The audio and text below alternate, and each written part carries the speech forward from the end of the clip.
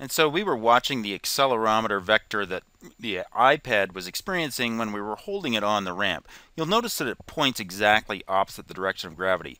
Now, uh, how did your prediction work out for when we actually released the iPad and allowed it to fall free with gravity? So it's a little bit hard to see. What we need is a much faster camera, but you can probably see here that essentially the vector itself points perpendicular to the ramp. So what's going on here?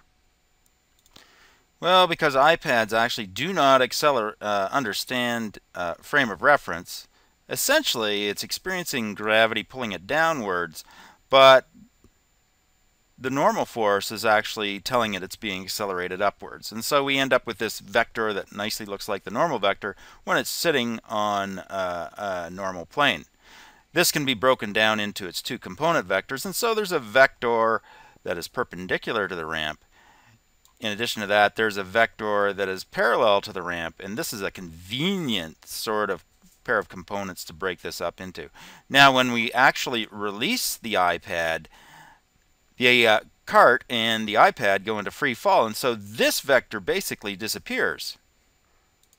And because the iPad is in free fall, the only portion of the gravitational vector it experiences is this one that is perpendicular to the ramp. And so you will see that this arrow, this vector, actually disappears.